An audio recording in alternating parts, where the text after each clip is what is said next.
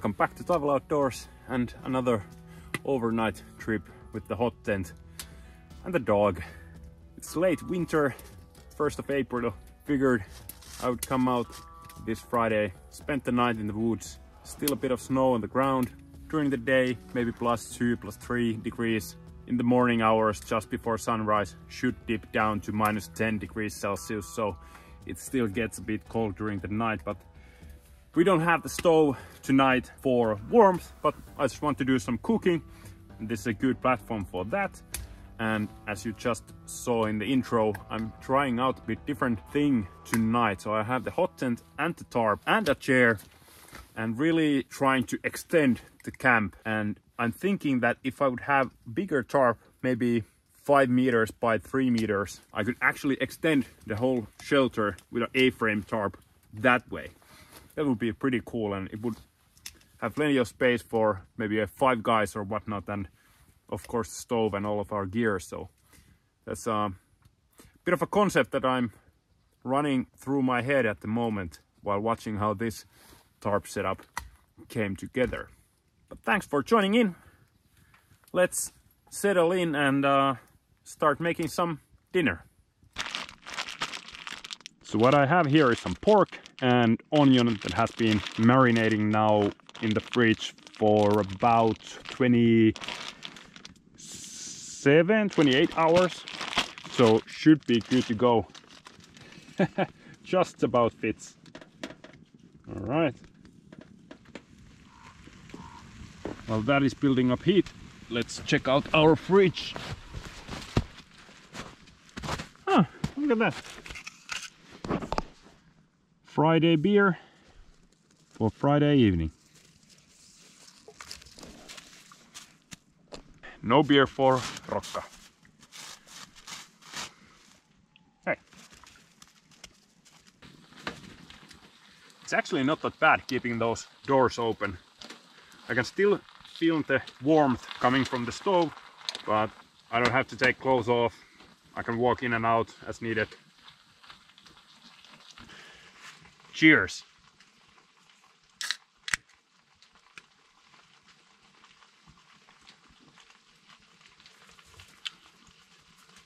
Hmm. I'm sort of tired of all the IPAs, but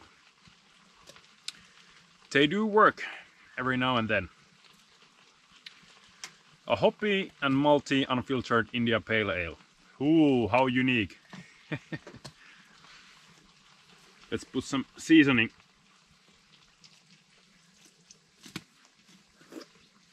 Yeah.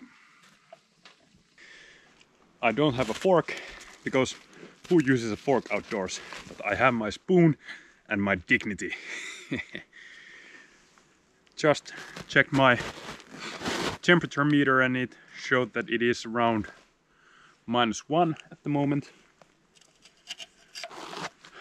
So slowly but surely cooling down as the sun is setting figured I will come outside while there is still some daylight left. Hmm. Not bad at all. While I wait this to cool down just a bit, I figured we could talk a bit about channel, do a little channel update since since the last one. Um, I believe last time I said that I was in the progress of making a website and I was in the progress of making a website. In fact, I almost finished it, but then life has been uh, busy.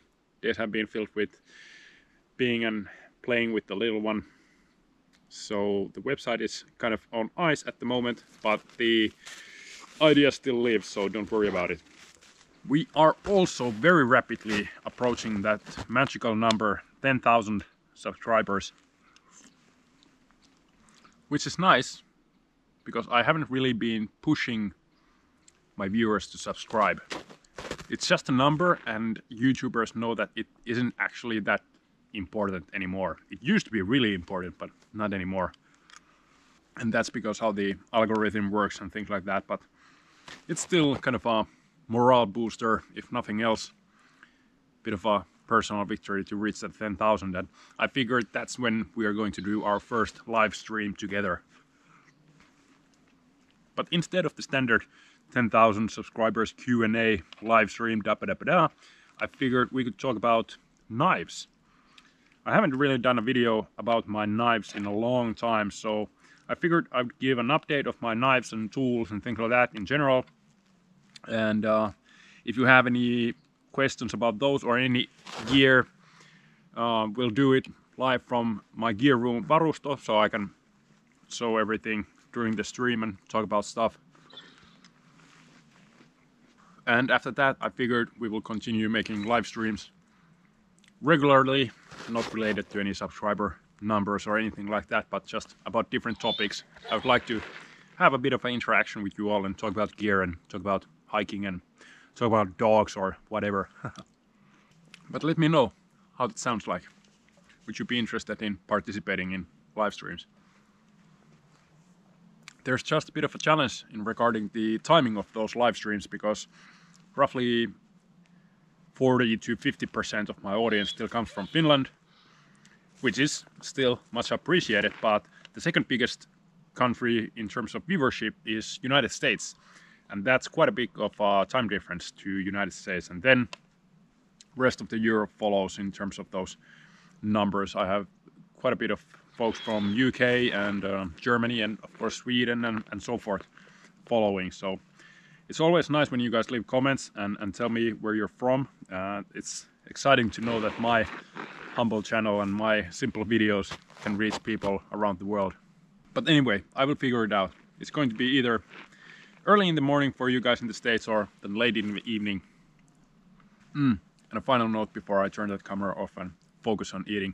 Yes, Rokka has had his dinner already. Don't let the whining fool you. He has been well fed as he is always, but Alaskan Malamutes, they are never satisfied.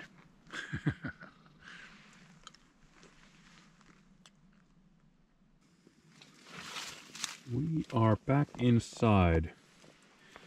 Took Rokka here as well and shut the other half of the door. Hung my carbon monoxide alarm and it just showed that it was roughly 4 degrees. Still daylight left a bit. Sun has already set behind those trees. I got to say, I kinda enjoy having this chair inside the shelter in fact, one of the reasons why I started looking at this kind of tipi or pyramid type shelters already maybe three, four years ago. Hey, rock. was that I never really liked the traditional dome shaped tents because they are so well usually they are quite small there's not really room enough even to sit up properly and you would only use that space to sleep in. So you carry all that weight, all that bulk, set it up and then crawl inside and sleep inside that shelter. That's why I started uh, really using only a tarp all year around all those years ago because with tarp you have plenty of space you can depending on the configuration you can even stand up underneath. So that's why tarp was and still is my number one shelter. But I started looking at these type of shelters because I figured it would be nice to have something a bit more protective especially when I'm with the dog. Originally the idea was to have a bit more protection from the bugs but that of course didn't realize with this shelter. Unfortunately as we've discussed many times yeah, it is nice that you can even without a chair like this sit up and, and move about in this shelter.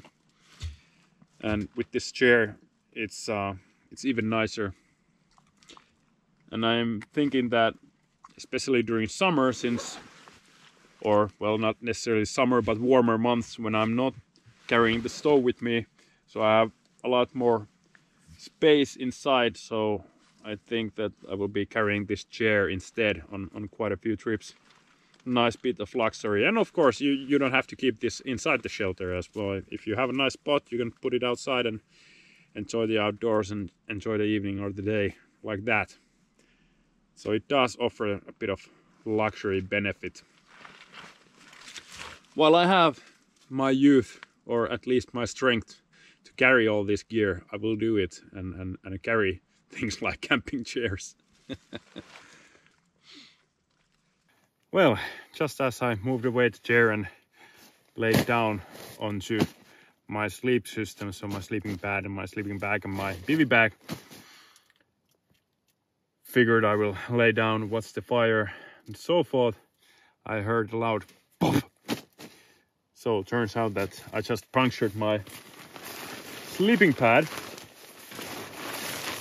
and it's not a small puncture by any means. There was still one stick like frozen solid sticking up from the ground which I had missed and actually I have this bivy bag here uh, or one of the reasons why I have it is to protect this inflatable pad. Well, the stick went through the bivy bag and now I have a big tear over here. Luckily, I do have the repair kit. Never done this. Previous air pad lasted for five years, almost five years before internal failure. And now this is now going for its second year and this happened. But let's see, I'll do my best. Well, I'm doing everything by the instructions, but this is not a puncture, like a clean circular puncture, but a big cut. And the thing is that I usually always carry my repair kit with me and in it I would have these adhesive patches that I could have used to repair this very quickly and effectively. And for some reason I don't have it this time. This one time when I would have needed it I don't have it and I don't know that that is just too much of a coincidence I guess but I'm not giving up yet. I will still put a couple of more layers of glue on there, but let's be realistic here. It's big cut and the patch that comes with the repair kit, uh, its only function is to provide a bit more protection. It doesn't provide uh, the airtight seal. That is created only by this glue and the cut is just too big and too wide I think, for the glue to hold. So this type of field repair with that only uh, might be impossible. But I will keep trying. It's uh, 15 minutes until 9 o'clock in the evening. So I'll give it until 9. Put one more or two more layers of glue. See if it holds. If not, then plan B we will bail out. Doing a bit of night navigation then, I guess. Well, I'll be damned. It actually worked. I cannot hear any air escaping. So I guess it's now down to the final test of me actually laying on top of this thing and seeing if it will hold or not.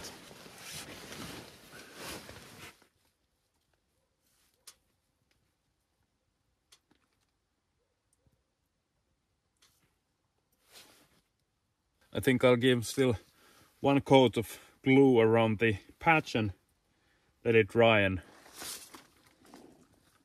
try the whole laying down and watching the stove thing again.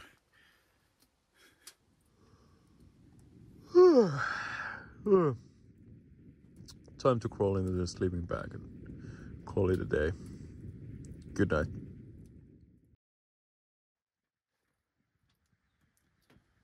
Good morning, folks. Fired up the stove as planned. Got a kettle on, making some coffee and porridge as always. Condensation is melting fast. Only what minus one degrees up here anymore. Outside it's minus 11. So I guess it was a good plan to leave some firewood for the morning so we can warm up the tent and get rid of at least some of this moisture. As for the night, well, good thing was that it was very warm. Sleeping bag did its job. The bad thing is that the air mattress, well, it actually held up almost throughout the night, but around six o'clock, it's now 6.30, Rokka came on top of me and after that it started to deflate. So I guess there was too much pressure on the sleeping pad because I started smelling glue as well. So I guess there wasn't a new puncture, but the old one uh, started leaking a bit. So it slowly deflated. But anyway, waking up around six is uh, pretty normal. So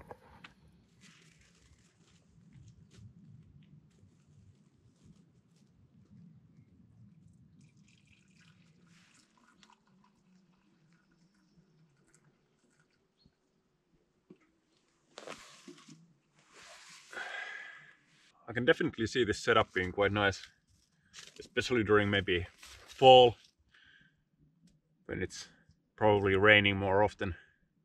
Having a piece of cover outside of the tent kind of opens up the camp a bit.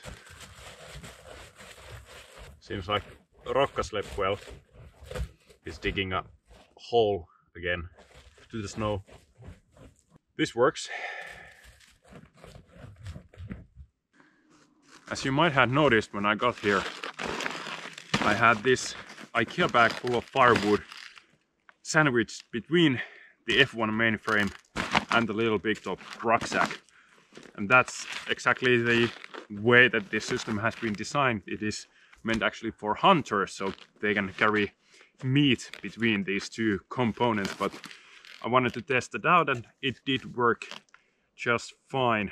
So now I as I don't have any firewood left, I just zipped this little big top back to the mainframe and it was great to be using this mainframe again because I haven't really had that much use for this for two reasons. First, the little big top by itself is extremely capable backpack and it turned out that I don't really need extra carrying capacity for most of the things that I do. And secondly, this mainframe, F1 mainframe, just doesn't fit my back very well. I don't know what is the deal with that because the rucksack itself has almost identical harness system and it fits really really well but this one doesn't. So I've been toying with the idea of just selling this. I waited for so long. Was it like a year or something how long I waited for this mainframe to arrive but in the end just haven't really had the use and doesn't really fit me so it is what it is. But anyway now today hiking back home or back to the car this whole setup will be a lot lighter to carry. Yesterday i had maybe 24 25 kilos on my back with the firewood. Today a lot less than that. Less water no firewood no food. So easy carry the ridge line of my tarp actually goes through this green loop that is on top of the Minipeak XL and that is just to keep it so it doesn't by accident somehow slid down to the chimney. And then it just goes to the tree over there. Very simple setup, but it does work. And now imagine if I had like a three by five meter tarp, I could have this edge all the way to the ground. And if this end would be a bit lower, I could actually close the end as well. So it would be completely closed shelter. And if I would have these doors open, I could actually then heat the whole thing with that one stove. That would be kind of cool. Really almost tripling the space that that one tent gives me. All I need is a big tarp. The thing is that I don't really have any other uses for so big tarp, so uh, probably not worth the investment, but something to think about, definitely.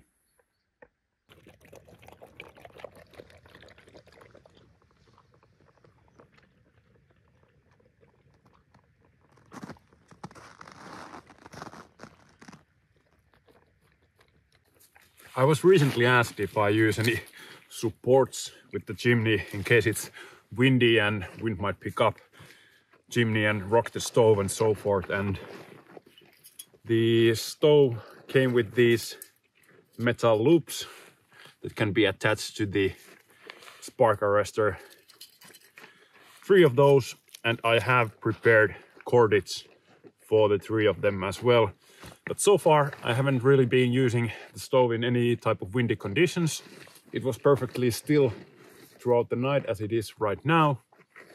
So I haven't experienced whether or not um, wind has an impact to the stove and so forth. This pipe is only, I think, two meters long. So I guess the problem becomes more substantial if you have a longer pipe. There's like a short or the normal pipe and then the longer one. And this is the normal one and it's perfectly fine for small tent like this. But if I would have a bigger tent for a family or a group or so forth, I would then get, of course, the longer chimney as well. But so far, I haven't had problems. But if the day comes that I'm in windy conditions, I am prepared and I have the stuff ready to secure everything in place. But that hasn't been the case just yet, luckily enough. Without the inner tent, this thing actually packs down to quite a small package and I'm gonna did it sideways with this package. No problem.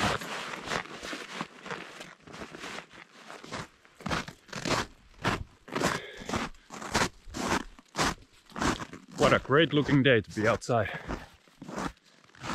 Really nice. Well, this easy and quick one night getaway making good food, having a beer, turned out to be a tad more challenging than expected, but we got through it. Bit of equipment failure is just part of the deal. Things break when you use them enough. Eventually something will happen. Thanks for joining us for this quick overnight trip again. Keeping it simple, but that's a good way to balance out the previous trip. Good to have a bit longer ones and shorter ones. My name is Joel. This is Rokka leading the way. You have been watching Taival Outdoors. I will see you all in the next one.